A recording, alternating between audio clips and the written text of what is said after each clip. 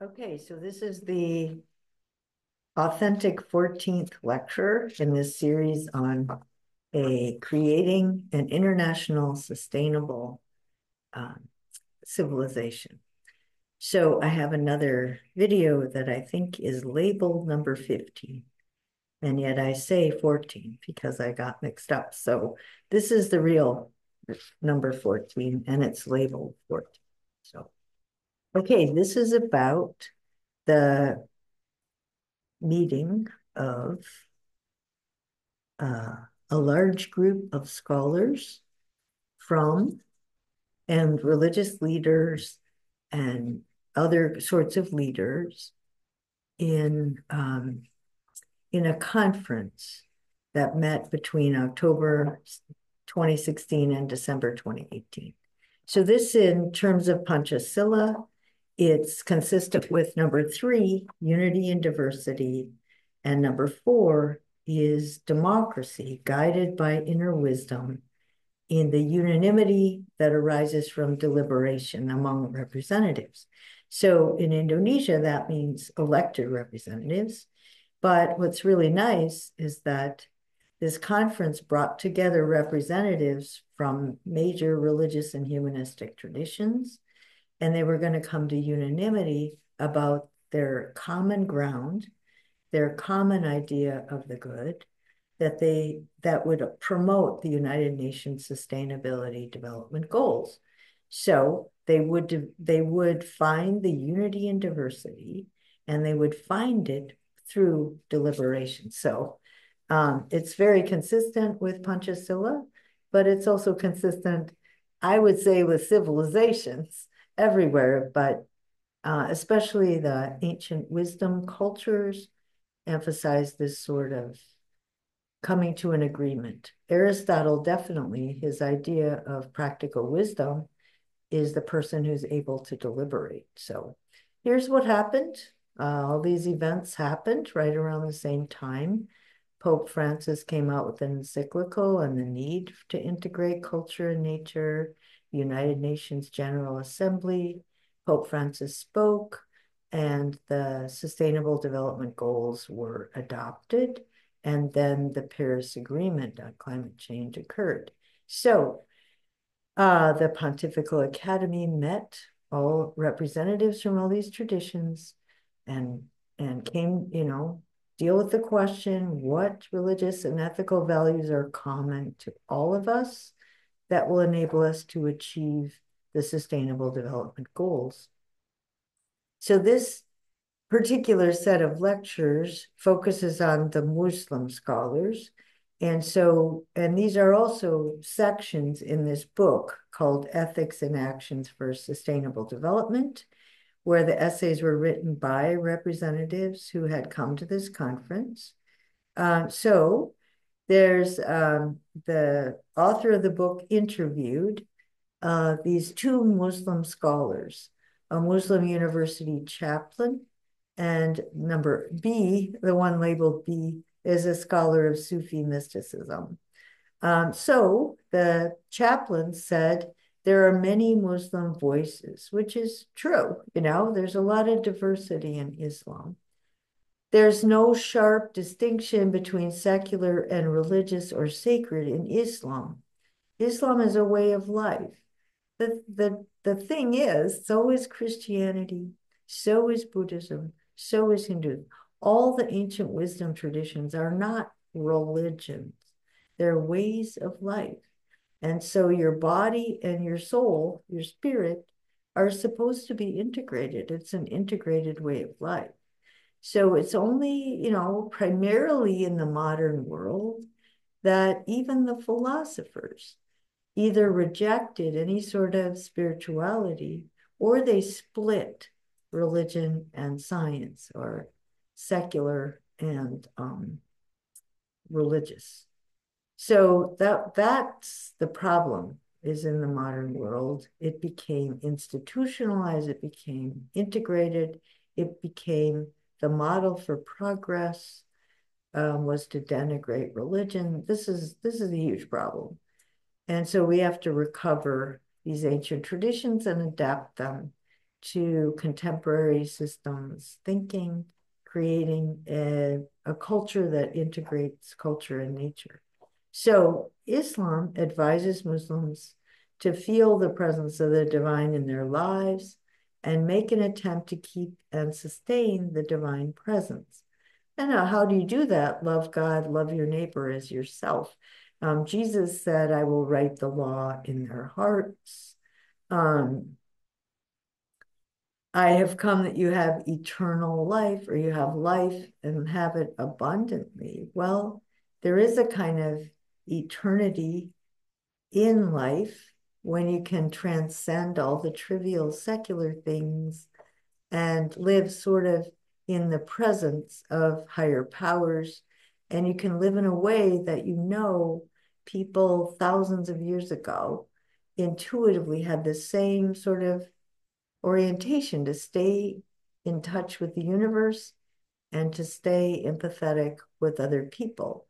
Uh, for Aristotle, it's a more uh, he he calls the divine mind is a first principle, prime mover, and then the human mind is oriented toward the human good, flourishing within this context of a natural world that's driving toward flourishing. So um, anyway, the whole model is not to split secular and spiritual, to keep them together.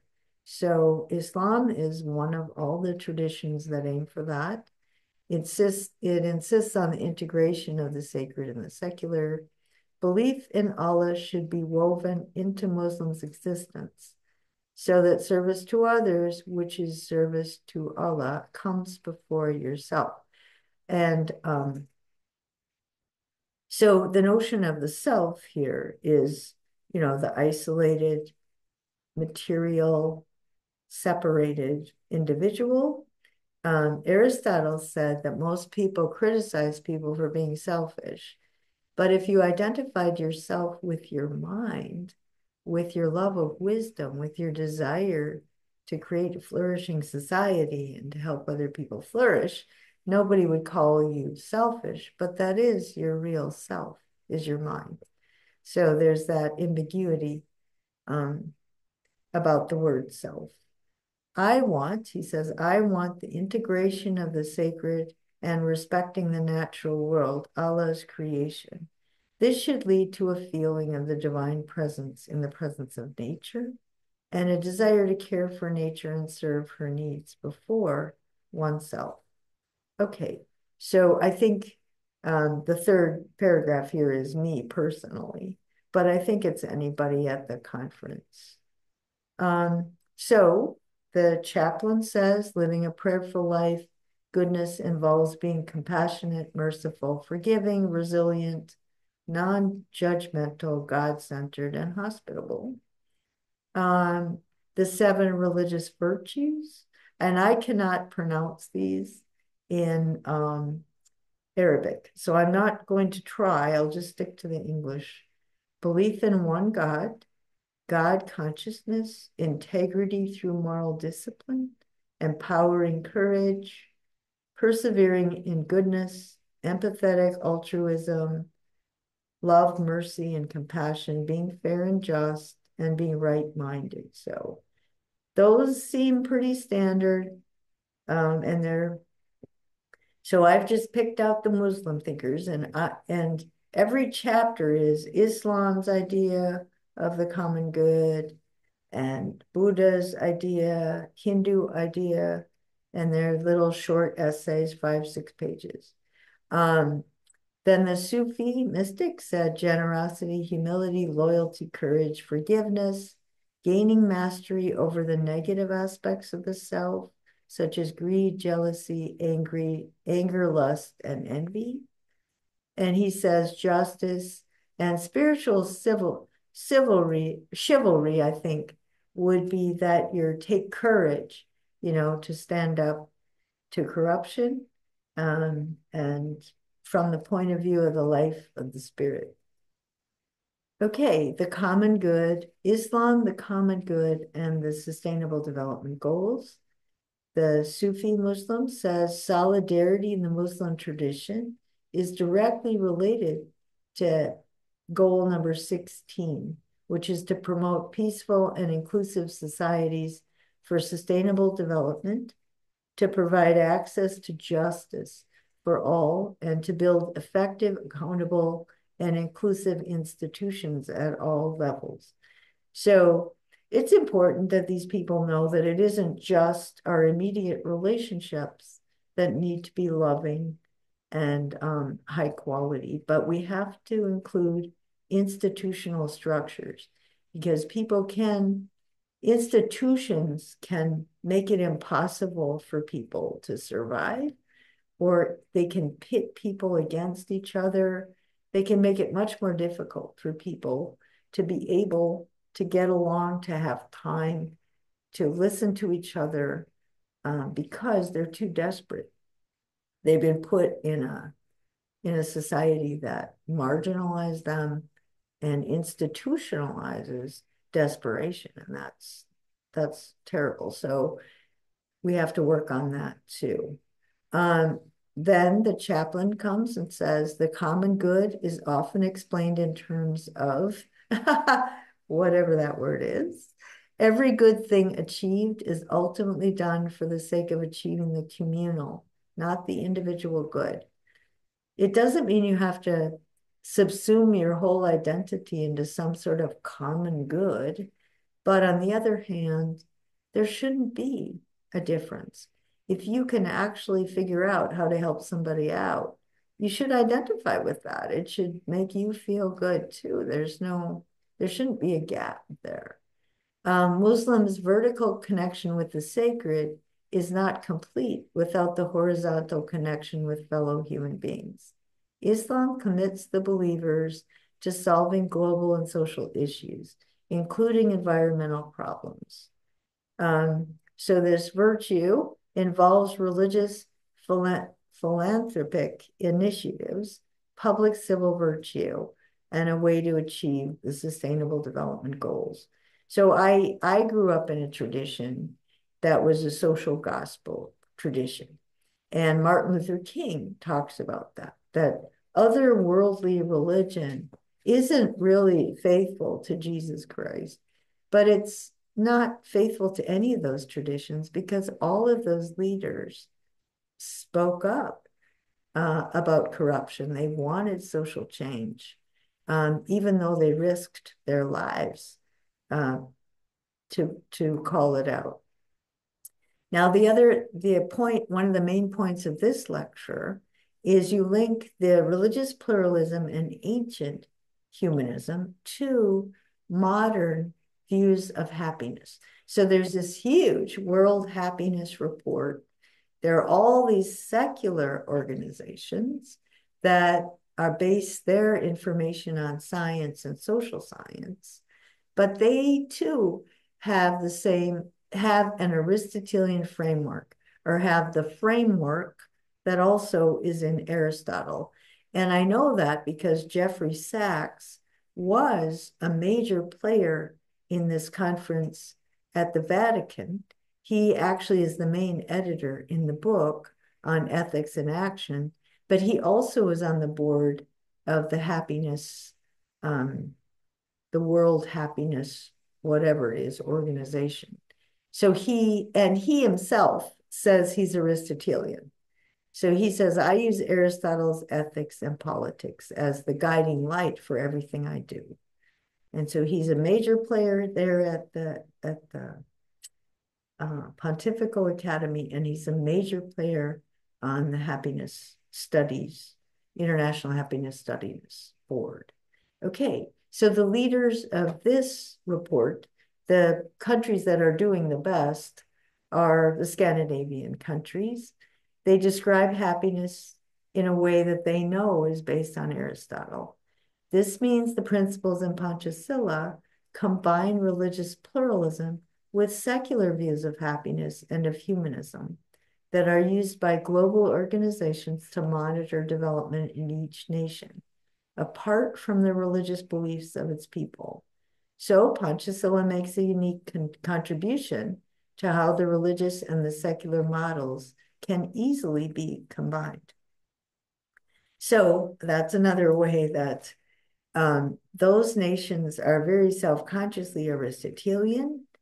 Pancasila, that my colleagues in Indonesia were not aware of how Aristotelian it was. So I'm the one that brought that into consciousness.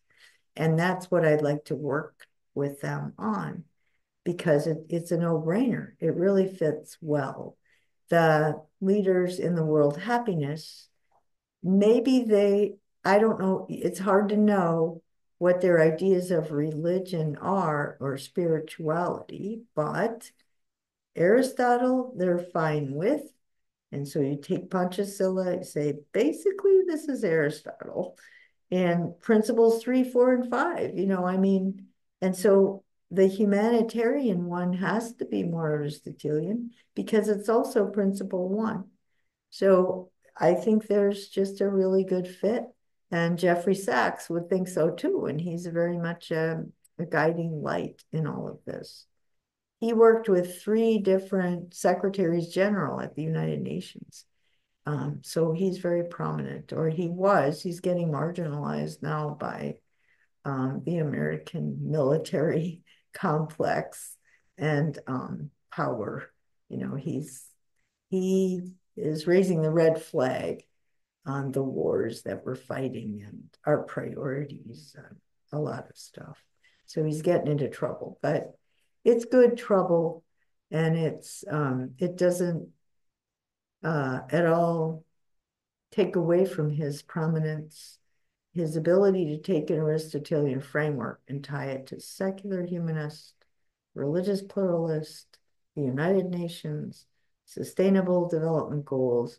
So he was the head, the president of the um, environmental environmental something at Columbia, the the Environmental Institute, I think, at Columbia until recently. So, okay, so another issue, he's an economics professor and he wants to set up a new paradigm for how to teach economics because right now it's taught on a very me mechanistic model, which I'll explain later. People are supposed to calculate the most efficient means to their own economic well-being as rugged, separated individuals. And that's supposed to lead to virtue and flourishing. And that's just wrong and it's proven itself to be wrong. So the ancient view of economics was much more humanistic. It was called civic humanism. But when I read Aristotle, I read uh, in the economic system. So the economic system is based on one of the virtues. If you remember, it's the first political virtue.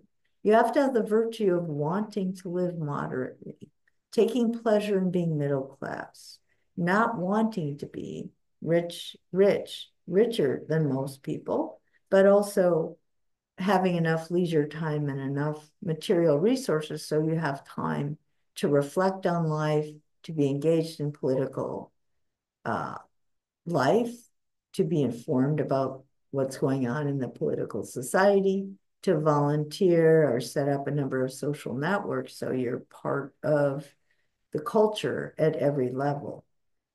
So you don't want to be too poor. All you can think about is surviving. Uh, but you definitely don't want to be above middle because that separates you and it unravels the social fabric. So when I read Aristotle on economics, he talks about two kinds of acquisition, um, natural acquisition and unnatural acquisition. So natural acquisition is where you buy what you need and you use it and you're happy and you take pride in the fact that you don't want excess. Unnatural acquisition is where you want more than you need. Your, your sense of self is, is improved by the fact that you can afford things that you don't need, that you would show off to other people that you have more than you need. In the US, cars are a status symbol, which I find really offensive. because somebody can drive around in a car, an expensive car, and show other people, you see, I'm successful. I have more than I need. And I just, oh, that is so offensive to me. I can't believe it. So, so in the ancient view is very different and it's very humanistic. And Aristotle Aquinas, Aquinas really has a lot about acquisitiveness and when a society becomes too corrupt. So Aquinas's view of sedition is that in general, you should not change things too much because people will get in the habit of breaking rules and you'll have social chaos. But he does say that if a society is corrupt enough, it is okay to commit sedition to uh, undermine the society. The reason I remember that is that in El Salvador, uh, Archbishop Romero started out, he wanted change because the rich and the poor were at odds in a terrible, to a terrible extent. And the United Nations was on the side of the, I mean, the US was on the side of the rich.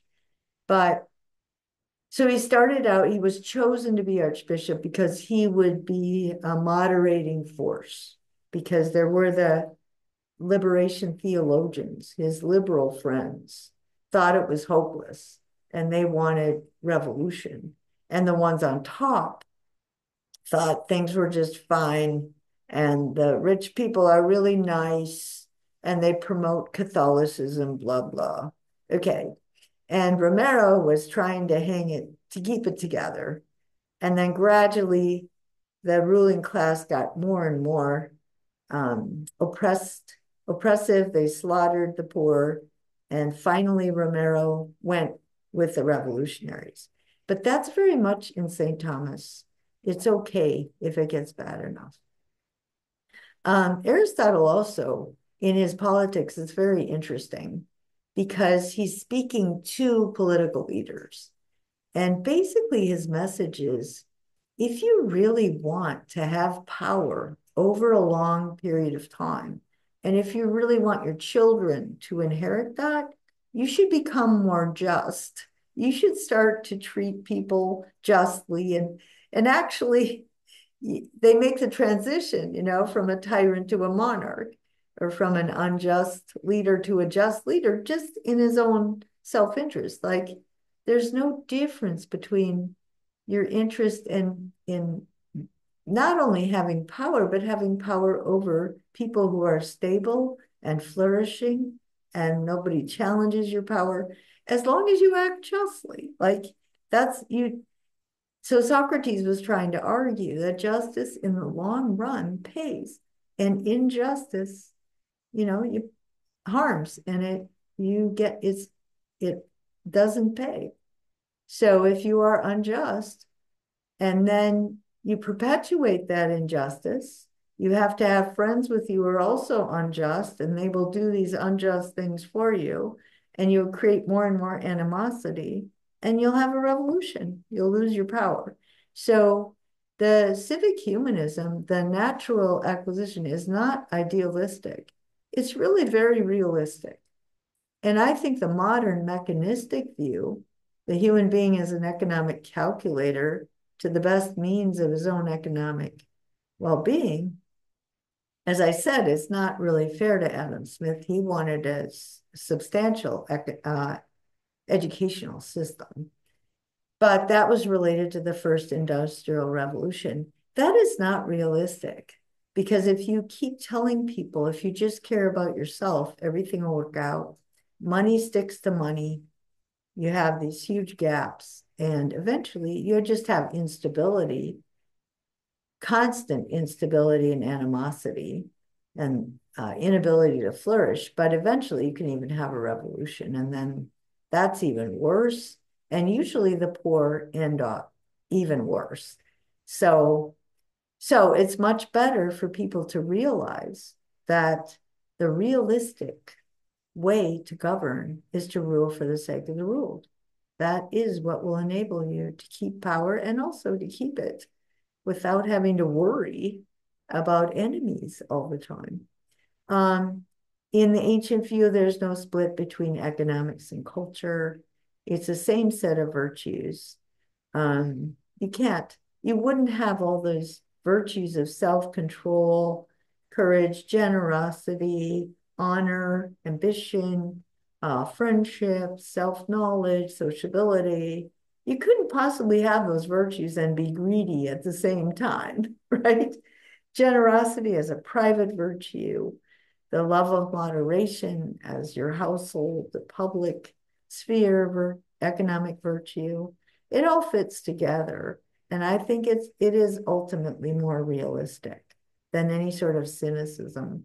Or in the modern view, they might have been naive, but at this point in history, we shouldn't be that naive. It has not worked. So now we're in the fourth industrial revolution, the technology, technological revolution. Um, Jeffrey Sachs wrote a book about the seven stages of development. Um, and so he had seven revolutions. Uh, the first one, I think, was from um, just, well, one of them was a switch when people had horses, and all of a sudden the horse. So, whatever the new technology was just the horse connected economy. And so it, it goes up, and um, it was a fascinating book. But the punchline of it is that we are in another radical industrial revolution, the technological revolution. And in the past, every time there's been a revolution, there's been a lot of war, animosity, fighting, you know, for power, for economic power, for military power. You know, the military with the best technology is going to beat, oh, it's just, it's always been bad. And so now we have that analogy with the past, plus we have climate change. So in the past, there has been, the climate has changed, or people have used up the resources and had to move on, and that was disruptive. But this is really, you know, this is permanent global life on Earth is at stake.